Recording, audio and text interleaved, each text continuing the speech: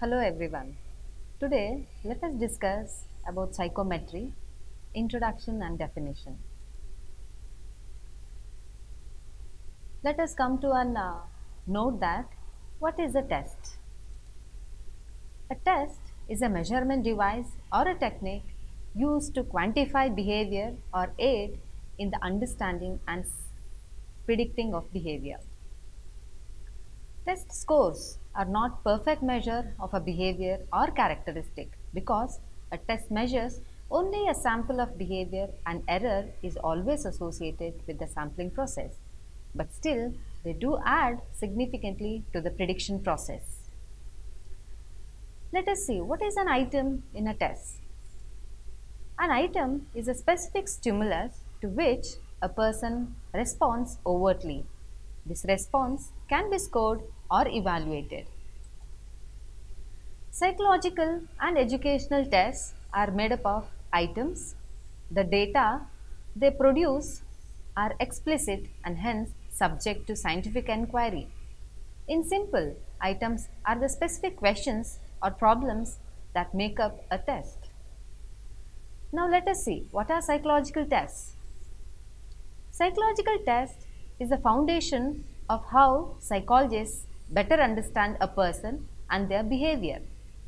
It is a process of problem solving for many professionals to try and to determine the core components of a person's psychological or mental health problems or maybe personality, IQ or some other component.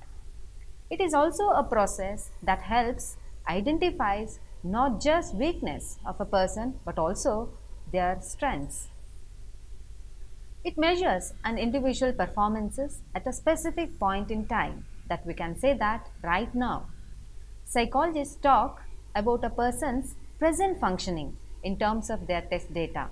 Therefore, psychological tests can't predict future or innate potential. A psychological test is essentially an objective and standardized measures of a sample of behavior. They are like the test in any other science, here observations are made on a small but careful chosen sample of an individual's behavior. Let us discuss what are different types of psychological tests. Just as there are many types of behavior, so there are many types of tests. Let us see some of the types under psychological tests. The first one is individual test. The examiner or test administrator gives the test to only one person at a time is called as individual test.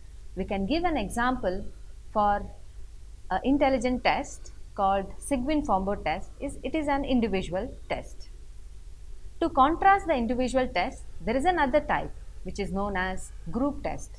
It can be administered to more than one person at a time by single examiner like as when an instructor gives everyone in the class a test at the same time.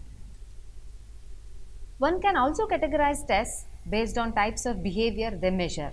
For example, ability tests. It contains items that can be scored in terms of speed, accuracy or both. On an ability test, the faster or more accurate your responses, the better your responses on a particular characteristics. There is a group of tests which is known as achievement test. Achievement refers to previous learning. We can give an example like a test that measures or evaluates how many words you can spell correctly is called as spelling achievement test. We have another group of tests called aptitude test. Aptitude test refers to a test which measures potential for learning or accurate, accurating of a specific skill. For example, we can say musical aptitude test. We have a very popular group of psychological tests. It is known as intelligent test. Intelligence stands for a person's general potential to solve problems, adapt to changing circumstances, think abstractly and profit from examples or rather we can say profit from experiences. We can give some example like as I mentioned Seguin-Form Board test or colored progressive matrices and so on. We have another group of uh, tests which is quite popular that is called as personality tests.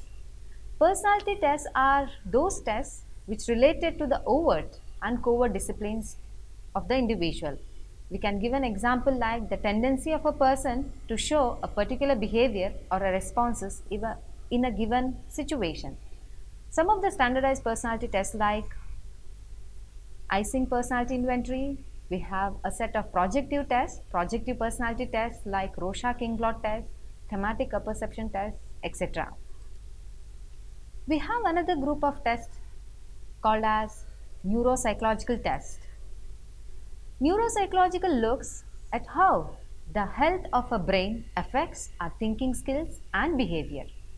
These tests help to understand at our attention span and how well an individual concentrate on things. Some of the major areas covered by neuropsychological testing includes ability to think, understand, learn and memory. We can call it as cognition. A test also focuses on memory, motor function, perception, problem solving, decision making or maybe verbal ability. Let us see the uses of psychological test. Psychologists primarily use these psychological tests to supplement or assist in various phases of treatment. Test results are used along with clinical discussion to help an individual to move from one phase of treatment to the next. Tests that measure symptoms provide a picture of what needs to change and tests that reveal unique traits give the psychology, psychologist an idea of how to assist a client. From the initial assessment to the closing of treatment, test results provide vital information that keeps the therapeutic experience relevant for the patient. Psychologists use tests during one of the first few sessions to assess the problems too. Psychologists use these tests at this point to supplement his clinical interview and to determine the severity, duration and extent of the problems. A test such as Beck depression inventory, for example, aids in making these measurements. The first use, we can say, the setting of goal. Psychologists use psychological test results to help the client to set goals for improvement. Psychologists use unusual results such as high occurrence of depression to develop specific and measurable goals. Goals such as reduce the frequency of depression to half of that initial discovered are clear and can be measured to show improvement. The second use, we can say that determining interventions. Psychologists also use tests to identify the most effective interventions for the client. Personality tests such as Myers-Briggs Type Indicator, in short we can say MBTI, can reveal much about how an individual thinks and the way they relate to other people. These tests reveal client strengths as well as weaknesses. The third use we can say that reviewing the progress. Most psychologists use tests as a way of reviewing what the client have accomplished in treatment. If client scored high on Beck anxiety inventory in our initial assessment, retaking the test three months later, many reveal lower anxiety and provide you with a clear idea that whether we our work is in a right way. The fourth use of psychological test is in closure.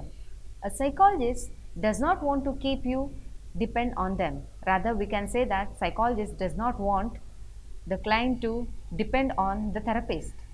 Therapist's goal is to build client's competence and confidence so that clients can manage their problems on their own in future. Psychologists often use tests as a way of ending the treatment too. Test results are used as evidence in closing discussions about the progress the client have achieved. If we say the application of psychological tests, various applications we can see in uh, tests.